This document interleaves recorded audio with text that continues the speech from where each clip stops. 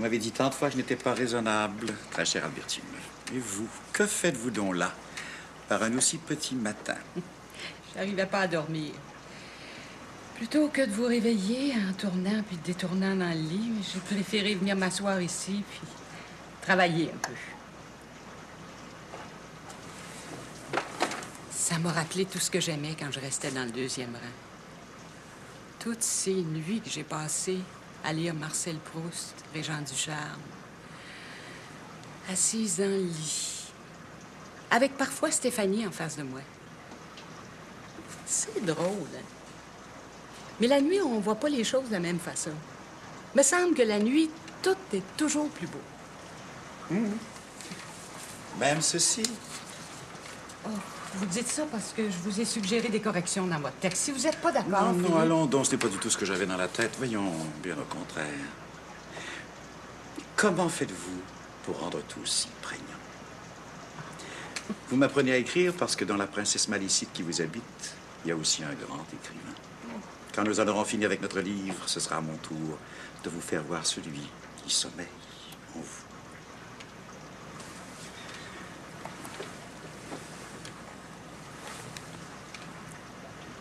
Hmm. Je vous aime, très chère Albertine. Quand je me suis réveillé tantôt et que tout mon corps vous cherchait dans le lit, j'ai eu tout à coup très peur. Pourquoi? Un tout petit moment, j'ai pensé que peut-être vous ne seriez plus jamais là. Et cela m'a absolument catastrophé. Vous voyez que je suis faible dans le fond. Il vaudrait mieux, je pense, que j'aille faire du café. Tout est déjà là, je m'en suis occupée. Asseyez-vous, je vous l'apporte tout non, de suite. non, non, non. Ce matin, c'est là que nous allons nous asseoir. Et c'est moi qui me charge de tout. Quand ma mère et moi habitions ici, c'est ainsi que ça se passait tous les matins. Même si presque toujours elle se réveillait avant moi, elle attendait que je vienne la rejoindre pour que nous prenions le petit déjeuner ensemble. Et, et c'est moi qui me chargeais aussi bien des croissants que du café. C'était comme, comme une manière de rituel. Cela m'a beaucoup manqué quand elle est morte. J'ai vécu ça moi aussi, quand je restais avec Gabriel. C'est lui qui, tous les matins, m'apportait mon petit déjeuner au lit. Puis pendant que je mangeais, il faisait le ménage de ma chambre. Pense que ça serait préférable qu'on parle d'autre chose. Avec la température qu'il fait, j'ai bien peur qu'il va falloir oublier les clames pour aujourd'hui. Eh bien, nous nous reprendrons demain. Bien que sous la pluie, ce n'est pas désagréable du tout de ramasser des claves. Ne trouvez-vous pas que la campagne a ceci de fabuleux? Que peu importe la température qu'il y fait, on a toujours l'impression de s'y sentir bien. Nelligan disait tous ces éclats de subtile verdeur pour que tout pour que tout devienne jardin sonore. J'ai appris moi aussi. Oh, bougez pas. C'est moi qui m'occupe du petit train-train des choses aujourd'hui. Vous, vous travaillez. Allô? Ah, bonjour, Eugenio. Mais tout va très bien ici. Pourquoi vous appelez si de bonne heure? euh, Non, Philippe est parti prendre une marche sur la grève. Est-ce que je peux vous aider? Non, pour Stéphanie, je sais vraiment pas. Faudrait que vous l'appeliez chez son père. Le numéro est dans le cardex sur le bureau de Stéphanie. Et pour le reste, comment ça se présente? Non, pas ça. Pour ce que vous savez, Eugenio. Ah bon, ça sera pas prêt avant 15 jours, je comprends. Ah, excusez-moi, Eugenio, mais ça frappe à la porte. Euh, Je vous rappelle sans faute aujourd'hui. il y a quelque chose qui ne va pas à Montréal? Euh, non. Eugenio a l'air dans une forme superbe. Il voulait seulement savoir euh, quand Stéphanie retournerait au bureau. Je lui ai dit d'appeler chez Gabriel. Mais vous êtes sûr qu'il n'y a rien d'autre? C'est des documents que j'ai demandé à Eugenio de me faire parvenir sur l'association des gens du bas du fleuve. Mais ça sera pas prêt avant deux semaines. Mais vous, Philippe, vous devriez vous mettre au travail. Je propose qu'on s'habille d'abord et qu'on aille marcher le long du fleuve. Je travaillerai après, quand nous aurons dissipé la brume de la nuit, ainsi que celle de la mer. Qu'en dites-vous? Pas plus qu'une demi-heure, par exemple. C'est d'accord.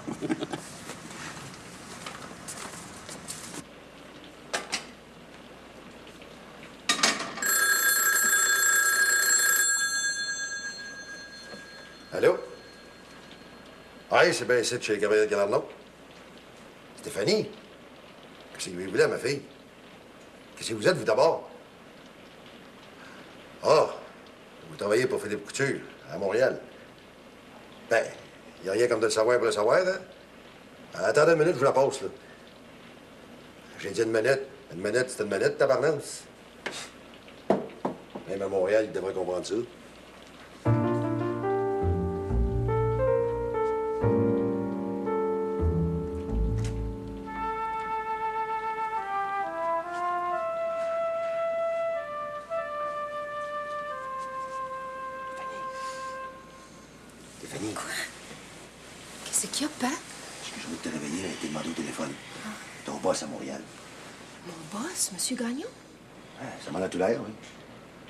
T'as rien qu'avec mon site, euh, je vais raccrocher de l'autre bord. OK.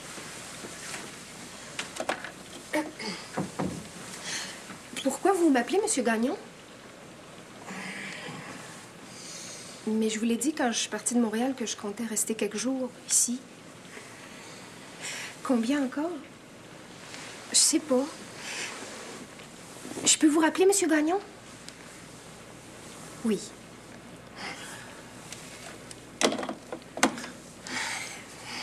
Des problèmes? Oh non, non. Sauf que depuis quelques jours, j'ai quasiment oublié que j'ai une job à Montréal, puis qu'apparemment, ce job-là a besoin de moi. Si tu voulais, peut-être que ça pourrait s'arranger autrement. Je pense qu'il n'y a rien qui s'arrange. Sauf pour ce que soi-même, on a décidé de faire. Je suis pas ton genre, c'est ça que tu veux me dire? Depuis que je te connais, je te trouve bien correct. Puis même cette nuit, je t'ai trouvé bien correct. Tu m'as demandé rien de plus que ce que je pouvais te donner. Tu sais pourquoi? Parce que tout ce que j'ai fait, c'est de parler avec toi jusqu'aux petites heures du matin. Ça n'a rien pour exciter personne. Tu te trompes. Peut-être que je parle juste pour moi quand je te dis ça, mais. euh, Mais quand on a de la considération pour quelqu'un, l'entendre parler, puis l'entendre parler pour vrai, c'est déjà bien plus qu'un corps qui a le goût d'être bien avec un autre corps.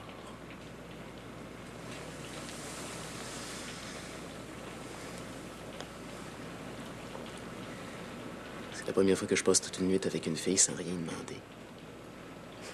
Comme sans rien me demander à moi-même. Sinon, juste le fait d'être bien avec elle autant qu'elle est bien avec moi.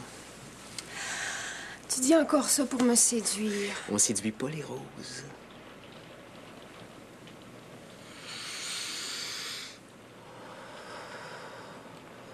On sent ce qu'elles sont. Puis c'est si définitif qu'on se pose pas de questions. Parce qu'on est simplement heureux que quelque part, les roses, ça puisse exister.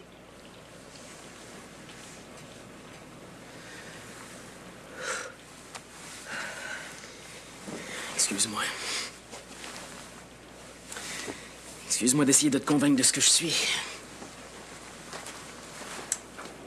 Et tu le sais, hein? Rien arrive jamais comme ça doit arriver. Surtout pas la beauté. Après tout, je suis quoi, moi? Rien de plus que le nouveau directeur de la Caisse populaire de Trois Pistoles. Tu sais bien que c'est pas ça que je Je le pense. sais. Comme je sais aussi que tu seras plus là tantôt. Rien d'y penser, c'est comme si un grand vent charriait partout les pétales de rose que je cultive.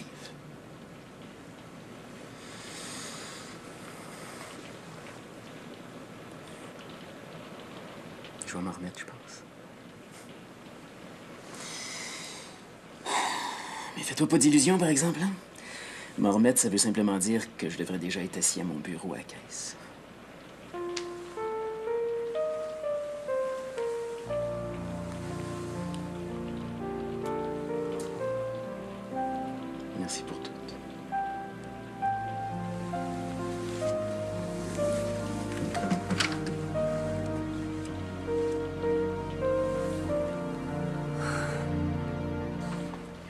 Arrive toujours au bon moment. Déjeuner prête. Assis-toi, je vais t'amener ça aussi droit qu'un cheval qui retrouve la porte d'écurie. je suis déjà en retard, il faut que je me retrouve à mon bureau à caisse. Regarde, J'ai pas fait tout ce mangeons-là pour rien, tabarnance. On est fait pour une armée. Pas parce qu'on est rien que toi qu'il faut pas qu'on mange comme du monde. Euh, Je m'excuse, Monsieur Galerno, mais il faut vraiment que j'y aille. Même les roses peuvent pas échapper au quotidien des choses.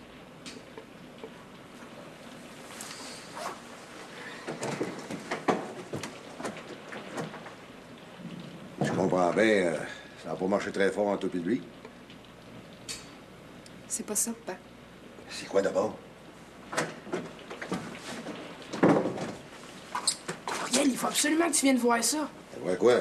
Il y a quelqu'un dans l'écurie chez M. Xavier. Euh, quelqu'un vraiment pas ordinaire. Il y a même un cheval puis, puis une musique à bouche avec lui. Jean-Marie, c'est pas le temps matin de faire des farces plates. Je farce pas. Ce que je viens de voir dans l'écurie chez M. Xavier, c'est bien autre chose que tout ce que tu m'as parlé des chevaux puis du reste. Hier soir, je le savais qu'il y avait quelque chose. Je vais aller voir ça.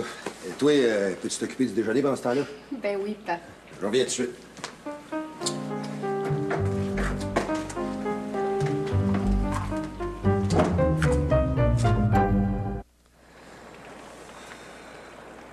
Bien que pour quelqu'un comme toi, c'est difficile de comprendre ça.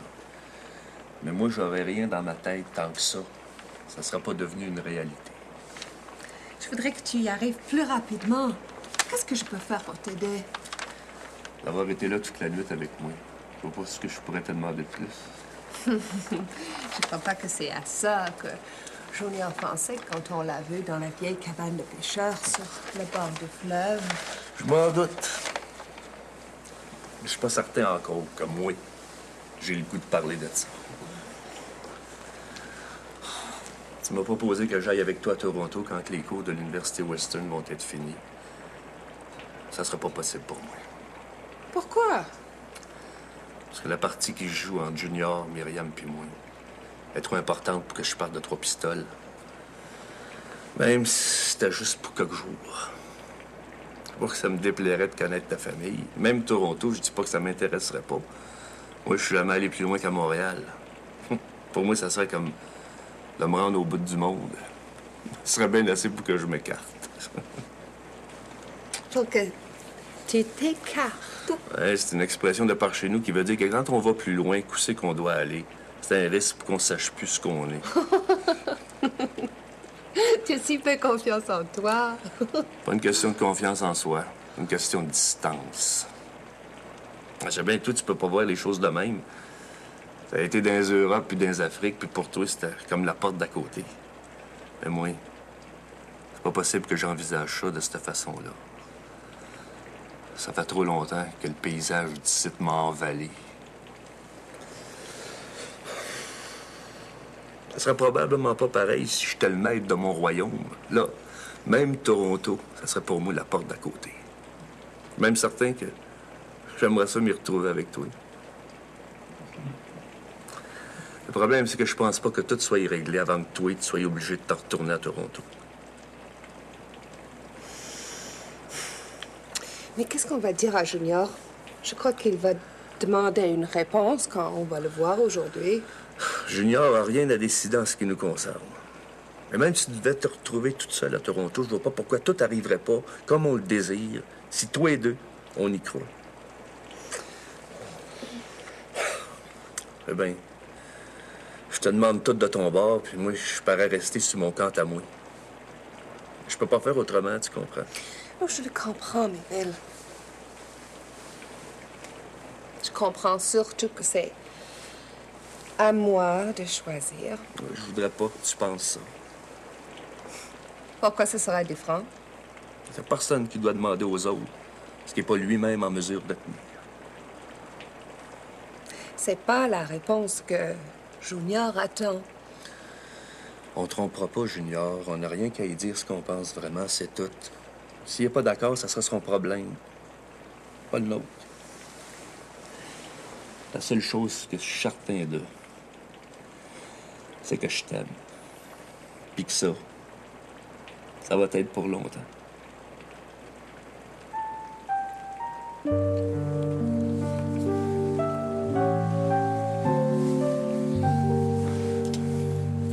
Quand je t'ai vu tantôt en entrant dans l'écurie, euh, Moi, dis comme on dit, j'ai eu l'impression que c'était un survenant que j'avais devant moi. Je ressemble tant que ça à mon grand-père. T'es sans portraiture, tout craché. Heureusement que je me suis pas pointé le nez ici hier soir. Les quétaines m'auraient poigné, puis j'aurais trotté à tombeau vert, ben mort, jusqu'au vieux pont de fer de Tauville. Mon grand-père, vous l'avez si bien connu? C'est mon père qui l'a fait venir ici, pour qu'il nous enseigne. C'est mon père aussi qui a fait bâtir une école spécialement pour lui. Cette école, elle existe encore? Je comprends donc qu'elle existe encore. C'est moi qui habite dedans, c'est c'est c'est ma maison, là, juste à côté d'ici. Mais toi, euh, c'est en quelle année que t'es venu par ici? Grillé, comment c'est que t'es grillé en plus? C'est pour rien de plus que pour connaître mes origines. Comme je l'ai dit à Myriam hier, c'est aussi pour savoir ce qui était devenu de mon grand-père. Dès qu'il s'est retrouvé ici, on n'a plus jamais eu de ses nouvelles à Montréal. Ma grand-mère en est morte de chagrin. Ton grand-père avait de la famille? Une femme et deux enfants. Sinon, comment pensez-vous que je serais son petit-fils? Toi, le petit-fils de Moïse Abraham. Ben là, pour m'habiter, ça me bite en tabarnak. C'est comme si tout d'un seul coup, euh, je revoyais mon enfance. Vous me feriez grand plaisir si vous m'en parliez. Ah, ça, je veux bien, mais euh, pas ici. On peut pas parler de ces choses-là dans l'écurie. D'autant moins quand il s'agit de quelqu'un qu'on a respecté comme ton grand-père. À part de ça, que t'as sûrement pas encore mangé. À la maison, il y a tout pour. Ça me ferait honneur que tu viennes. J'accepte. Et je vous suis déjà reconnaissant par avance.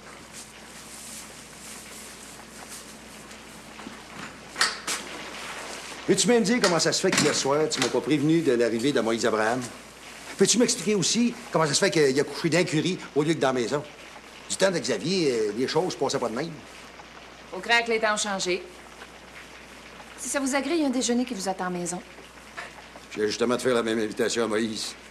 Dans ce cas-là, c'est à lui de choisir. Est-ce que je peux proposer quelque chose? Vous pouvez. Et si longtemps que je rêve à l'école où enseignait mon grand-père, que j'aimerais m'y rendre tout de suite. T'as rien qu'à venir manger avec nous autres, ça me ferait plaisir. Je vois pas pourquoi j'irais déjeuner ailleurs que chez nous quand tout est près de chez nous. Mais je l'ai déjà dit. C'est à vous de décider. Mon désir, c'est vraiment de voir l'école où enseignait mon grand-père. Dans ce cas-là, vous avez juste à y aller. Eh, Regarde, lâche un peu de boucan, tabarnance. Mangez tout votre content. Je vous le souhaite.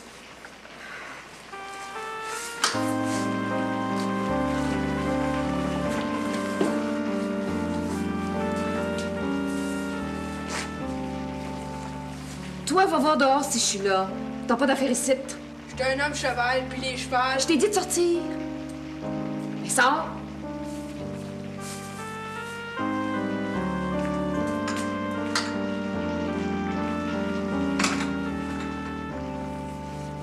Le soleil est peut-être tombé dans la mer.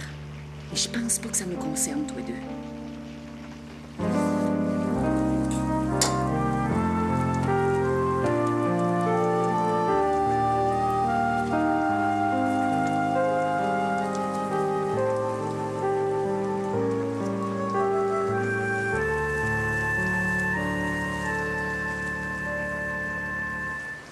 Déjà le matin.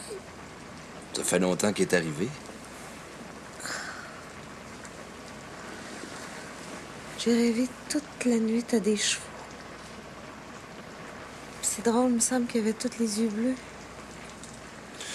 Ça veut seulement dire euh, que t'as faim. Viens, tout est prêt, ça truie.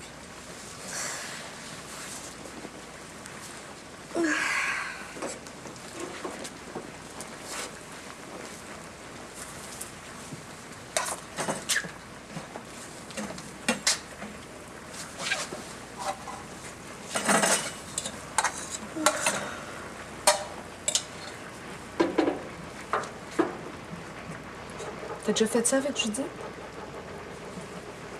J'imagine. oui. Imagine que j'ai fait ça avec Judith. Ben autre chose.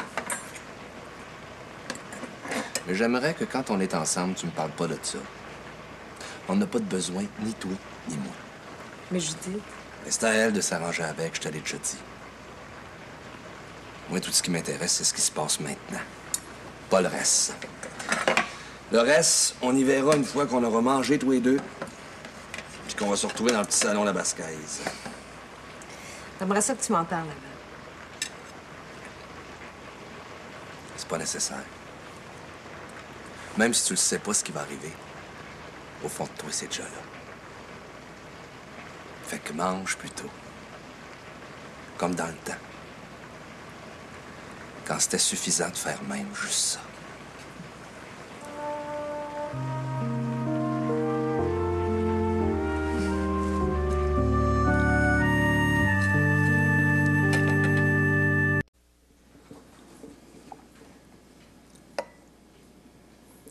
Manger. Ça donne rien de s'en faire pour des choses qu'on sait même pas ce que c'est. Je sais peut-être pas, mais je m'en doute, par exemple. Au fond, j'aurais dû rester à Montréal puis continuer la tournée que j'avais commencée. C'était pas une bonne idée de venir faire de la musique puis de chanter à l'hôtel. Je vois pas pourquoi tu dis ça. C'est à cause de Junior. Je savais que ce serait pas facile en venant le relancer jusqu'ici, mais je m'attendais quand même pas à me faire traiter de même. Non, je pense pas que ça soit contre toi que Junior a fait ce qu'il a fait. Depuis la mort de son père, Junior a bien des chats à fouetter par rapport à sa famille. J'ai l'impression que tu devrais juste y laisser le temps. Le temps, ça finit par arranger bien des choses. Je suis pas sûre d'avoir la patience de me rendre jusque-là. Avant de m'établir ici, je le croyais. Je le croyais parce que c'était aussi ce que je sentais de Junior. Mais là, il y a quelque chose qui me dit dans tout mon corps que j'ai peut-être rien compris à rien. Quand on est femme, on comprend tout. Tu sais, euh, je connais les Galarno depuis plus longtemps que toi. C'est pas une famille comme les autres parce que même en dépit d'eux autres, les liens du sang, c'est ce qui prime. Ou bien tu l'acceptes, ou bien tu le refuses. C'est selon ce que t'es. Euh, T'aurais tort de te faire une idée trop vitement là-dessus. Pour accomplir ce qu'il y a dans la tête, Junior a besoin de toi. Il me semble que tout le reste devrait passer après, non? Vous avez probablement raison. Je suis même certaine que vous avez raison. Mais aimer comme moi j'aime Junior, faut croire que j'ai pas choisi le plus facile, hein? C'est à moi de m'arranger avec ça. Comme avec ce qu'il y a dans mon assiette. Bon, ben j'aime mieux ça de même. Je vais te réchauffer ton café. Ah, pour le café, vous tombez bien, je m'en allais justement en chercher. C'est bien blanche, mais Rebecca puis moi, on n'a pas le temps. On est attendu dans le petit salon de la basse-caisse. Même qu'on serait plutôt en retard qu'autre chose. C'est Junior qui vous a donné rendez-vous là? Il y a des chances, oui. Tu veux venir avec nous autres? Junior me l'aurait demandé si c'est ça qu'il avait voulu. Je peux rien répondre là-dessus. Allons-y. Quelqu'un qui a failli couler à pic hier. Vous avez l'air pas mal en forme. Vous allez être bon pour retourner à Montréal aujourd'hui. Je comprends que vous me disiez ça. Je pense que je le mérite. Mais je voudrais quand même m'excuser pour tout ce que j'ai fait comme junior, puis vous, sans même le savoir. C'était pas pour ça que je suis venu ici. S'il y avait même moyen que je répare le mal qui est arrivé malgré moi, soyez assurés que je voudrais pas y manquer. Je tiens plus que tout au monde à ce que vous me croyez. C'est un geste qui vous honore.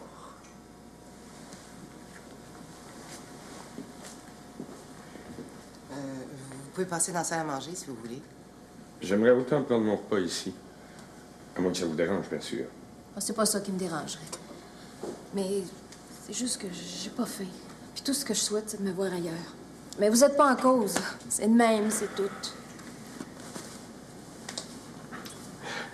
J'imagine que c'est normal que je fasse fuir le monde. Pensez pas ça.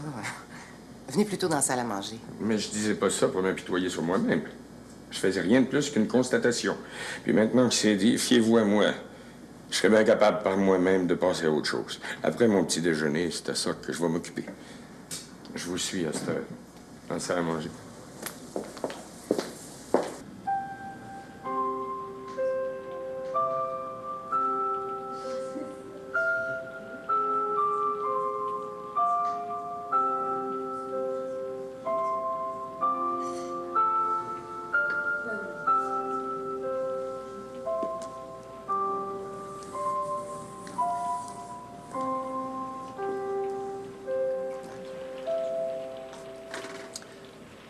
Fois que tu te de table pour dans la maison.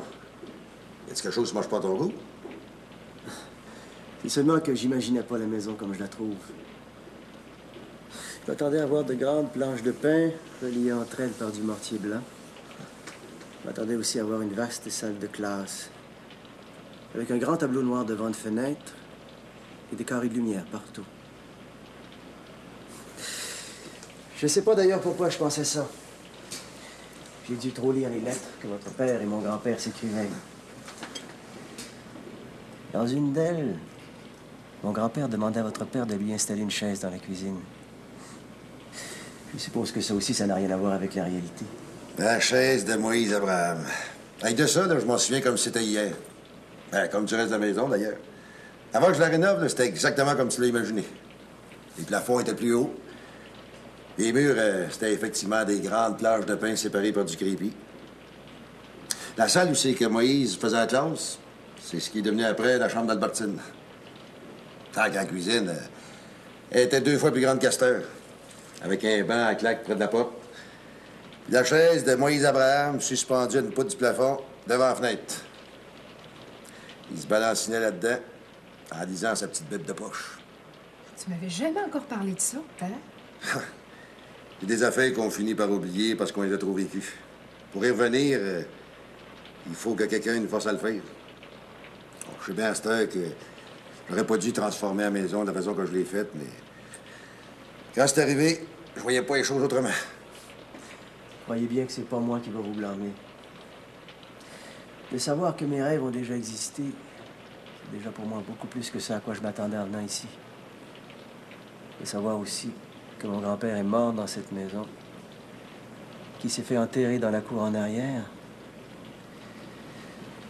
C'est comme si. comme si je me retrouvais moi-même dans ce que je suis. Bon, Même chez moi, il y a- je peux essayer de t'indiquer l'endroit. Je pense que je suis encore capable de te retrouver à la place exacte. Avec un peu de temps, bien sûr. Pas maintenant. Après tout ce que vous m'avez raconté, je sens le besoin de faire le point en moi-même. Je sens le besoin de vivre dans ma tête ce que mon grand-père a dû vivre dans son corps. Je vous remercie pour tout, Monsieur Galarno. Ah, ça m'a fait plaisir. Parce que parler avec toi, euh, ton grand-père, là, euh, ça m'a rappelé des pages de souvenirs que je pensais qu'il avait sombré bien loin de l'autre bord de ma vie. N'importe quel temps, la maison de Moïse Abraham, ma maison, t'es ouverte. Je vous en suis très reconnaissant. Pour vous aussi, je suis plein de reconnaissance. J'ai pourtant pas dit deux mots. La beauté, ça n'a pas toujours besoin de parler pour que ça s'entende. Merci encore. Pas de rien, je te l'ai dit.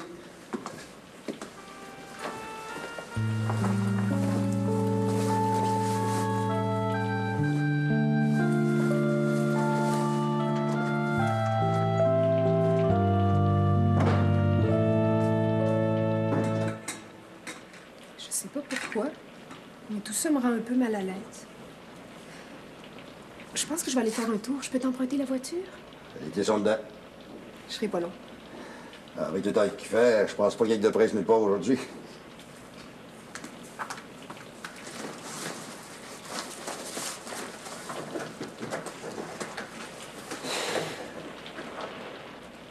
Comment ça se fait que j'avais oublié ça, la chaise de Moïse Abraham? C'est Xavier qui est venu la chercher ici quand j'ai commencé à transformer la maison.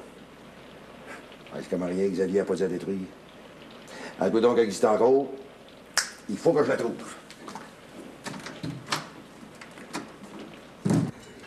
Je peux m'en aller si euh, vous trouvez que d'être ici, c'est, c'est indiscret.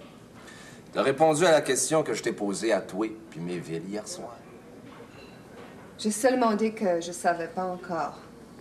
Peut-être pas vraiment ce qu'on dit qui est important, mais la façon de le faire. Celle que t'avais en me répondant m'a satisfait.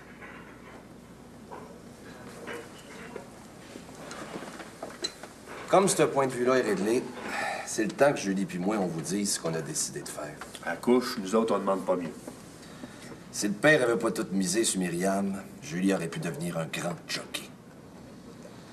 En coursant contre mes picouilles à Squatec, Myriam a remporté une victoire facile.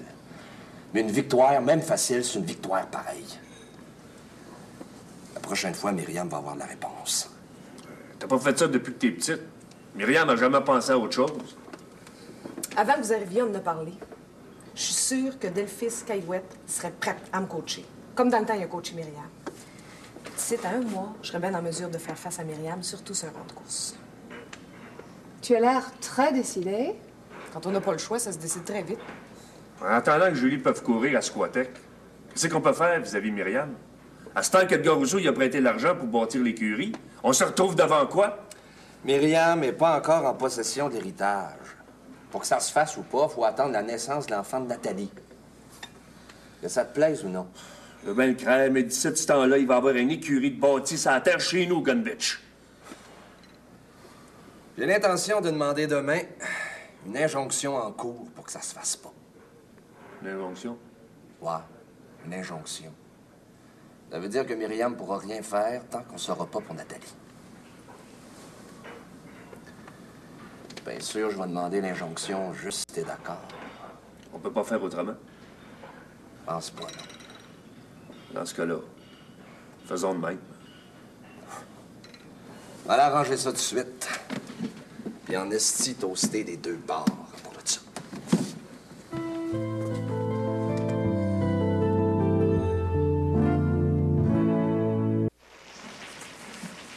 dit à mes hommes de s'en tourner chez eux. Avec la température qu'il fait dehors, ça donne rien de s'assiner à vouloir travailler. On va revenir quand les grandes pluies vont avoir cessé. Je comprends ça. Tout est bien parfait d'abord. C'est bien. Bonjour, mademoiselle.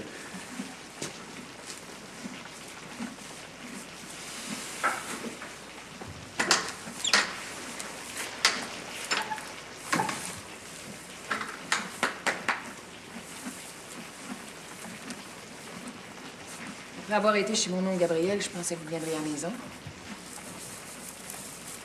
Je ne pouvais pas me retrouver ailleurs qu'ici. Tout ce que M. Galarno m'a dit au sujet de mon grand-père a été bien davantage pour moi qu'une découverte. Et la reconnaissance même de cette découverte. J'avais besoin d'y songer. Est-ce que ça signifie que je vous dérange? Vous êtes chez vous ici. Moi pas. C'est donc moi qui suis susceptible de déranger. Si c'est le cas. C'est pas ce que j'avais dans la tête en venant vous retrouver. Je voulais seulement connaître vos intentions. Maintenant que je sais que mon grand-père est mort et qu'il a été enterré derrière l'école où il enseignait, je voudrais bien lui rendre un dernier hommage. Ça veut dire que vous restez encore un petit moment? Oui. Il faudra bien que le soleil remonte de la mer, de lui-même ou autrement. Mais vous en faites pas. Dès aujourd'hui, je vais me trouver un coin où habiter. J'ai une proposition à vous faire. J'écoute. Je fais bâtir une écurie pour l'élevage des chevaux que je commence. Il y a un contremaître, bien sûr, mais il appartient à la compagnie que j'ai engagée. J'aurais besoin de quelqu'un pour prendre soin de mes intérêts. Je connais absolument rien dans ce genre de choses. Peut-être. Mais si vous êtes venu de Montréal comme vous l'avez fait, je pense que je peux vous faire confiance pour la débrouillardise. À moins que je me trompe, votre attitude envers moi a beaucoup changé depuis hier soir. Vous ne vous méfiez plus de moi? Quand même que ce serait le cas. Qu'est-ce que ça change? Je sais pas encore. Je me pose simplement la question. Si vous trouvez la réponse, je vais être à la maison. Je souhaiterais toutefois que ça retarde pas trop. J'aime pas les situations qui sont pas nettes.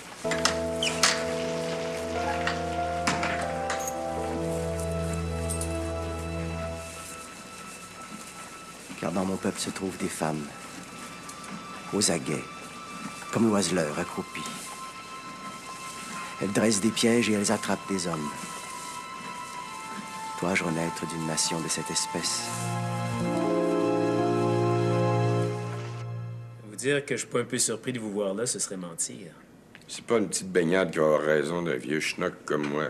Sauf que je suis pas vraiment venu ici pour vous parler de ça. En quoi je peux vous être utile? Je suis descendu à trois pistoles avec l'intention de m'y établir. Même si mes raisons ont changé depuis que je suis là, je compte toujours le faire. Puis plus que jamais à part ça. Je voudrais m'acheter quelque chose dans la région. Quelque chose comme quoi, par exemple? Le genre de l'entreprise me fait ni chaud ni frette. J'en ai trafiqué pas mal dans ma vie. De l'épicerie de mon père à un garage de chars usagés. Sans parler d'un bar dont j'étais le copropriétaire avant de me lancer en politique.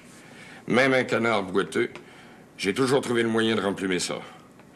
Y a-t-il quelque chose dans la région qui serait à vendre, puis que je pourrais acheter? Il y a trois, quatre fermes intéressantes qui sont à vendre. N'importe quoi, mais pas une ferme. Les bêtes à quatre pattes, c'est vraiment pas mon domaine. À part ça, je suis ouvert à pas mal tout le reste. Faudrait que je pense. hein? Moi-même, je viens juste d'être nommé à la caisse. J'ai pas encore eu le temps de faire tout le tour de mon jardin. Mais, euh, laissez-moi quelques jours, je devrais pouvoir vous trouver quelque chose. Je pense que je peux attendre quelques jours. J'aurais une dernière question à vous poser, Monsieur Rousseau. Quoi donc? Pour l'entreprise que vous voulez acheter, vous avez combien d'argent à disposer? Selon ce que je vais acheter, je suis capable de mettre ce qu'il va falloir mettre. J'avais pas besoin d'avoir de crainte là-dessus. Ça répond à votre question. Tout à fait. Je vous fais signe aussitôt que je peux. J'y compte bien.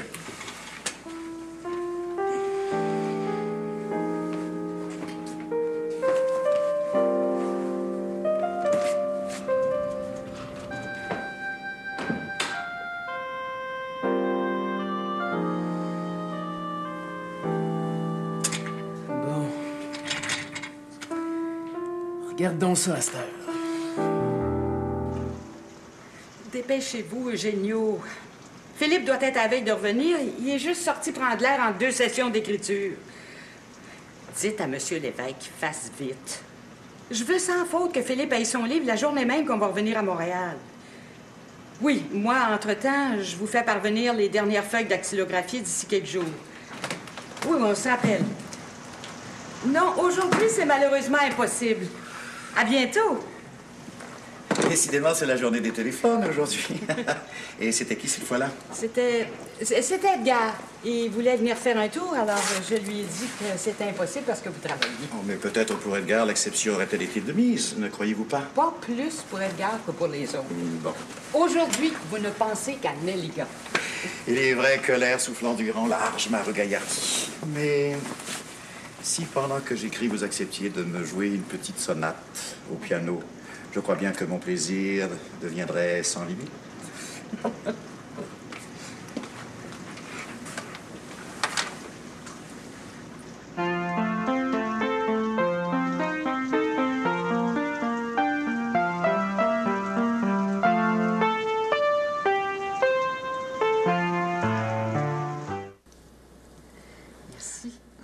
Que j'aurais dû téléphoner avant, mais ça m'a pris de même tout d'un coup, puis je je peux pas faire autrement que de venir.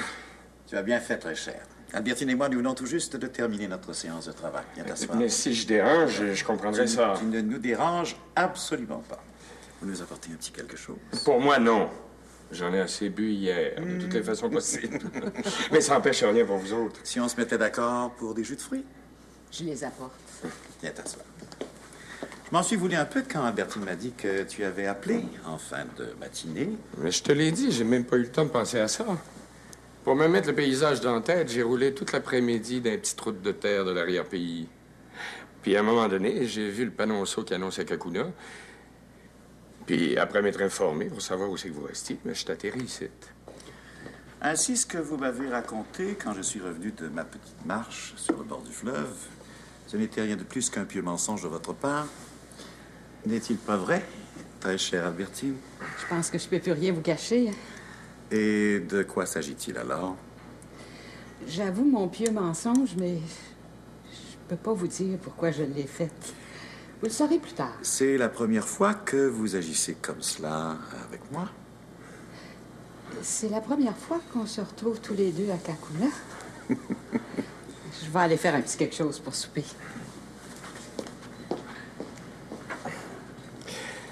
Pense que je me guérirai jamais de ma maladie, d'arriver à contre-temps? Ça n'a pas d'importance, je fais confiance à Albertine. Et toi, comment vas-tu? Depuis que Myriam est allée te voir à l'hôtel hier soir? Tu vas peut-être trouver ça étrange, mais ça m'a comme libéré d'un grand poids. J'ai compris que je m'étais trompé. Comme je me suis trompé sur tout le reste avant. J'ai compris aussi qu'il m'appartenait juste à moi de me retrousser dans toutes mes manches, puis pour commencer à rêver du bon bord.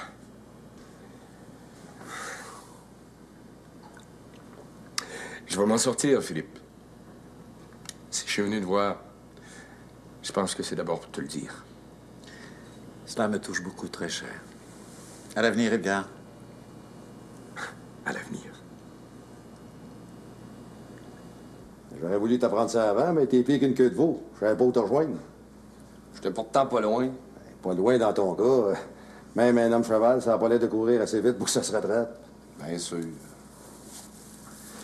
Dans le fin fond du poêle à bois, c'est que vous pensez qu'un gars comme Moïse Abraham vient faire exactement par ici?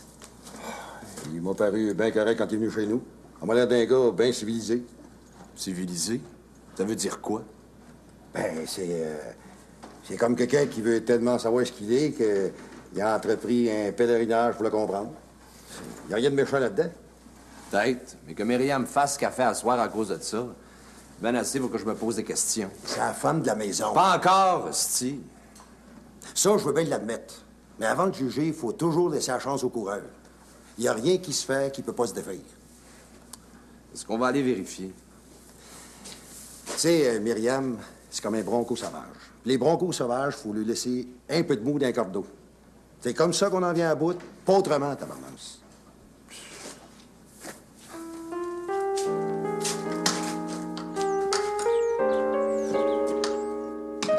On va attendre longtemps encore demain. Le temps qu'il va falloir. J'aime pas ça, ce que je sens dans la maison. C'est parce que tu connais rien aux odeurs de chevaux. Peut-être, mais je connais la maison, par exemple. Puis après, Edgar Rousseau qui a couché là, c'est pas quelque chose à faire qu'un autre quelqu'un s'y retrouve encore. Junior, ma patience commence à faire des flamèches. Faut jamais dépatienter. Mais euh, comme c'est ça que tu veux, on pourrait peut-être passer à la table. J'attendais que Gabriel et toi vous arriviez. À cette heure que vous êtes là, ça va se faire. Je me sens toute griffeuse. Attends voir.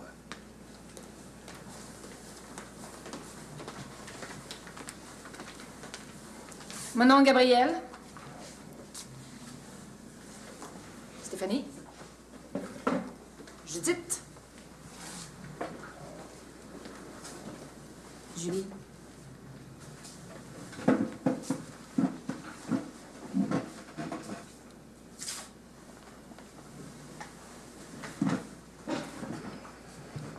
J'imagine que si tu m'as pas demandé de masser, c'est parce que t'attends quelque chose de moi. Je peux rien te cacher. Pas besoin d'en dire plus. Je suis assez fin pour savoir ce qu'il faut que je fasse.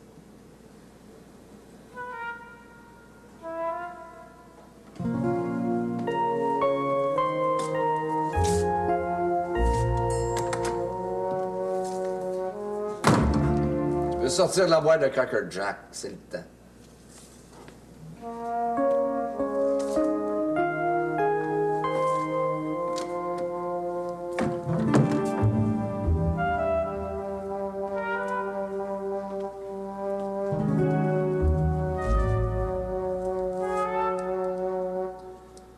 Peut-être qu'un petit bout de la Bible serait approprié. Qu'est-ce que t'en penses? C'est pas pour ça que j'ai demandé que vous soyez toutes là. Sauf mes villes. J'ai demandé aussi.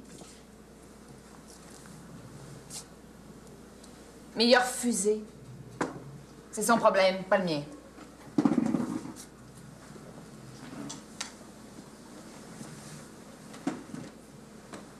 Si tu nous disais plutôt ce que t'as derrière la tête. J'ai rien derrière. Tout devant. Pour ceux qui ne le connaissent pas encore, je vous présente Moïse Abraham, qui a accepté de devenir le contremaître pour l'écurie que je vais faire bâtir, dès que la température va le permettre. Il risque d'y avoir de gros orages bien avant. On s'arrangera avec. Bon appétit. Bon appétit.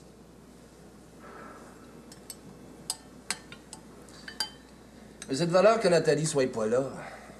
On pourrait euh, l'envoyer s'asseoir à petite table. Bien sûr. Comme tu dis. Bien sûr.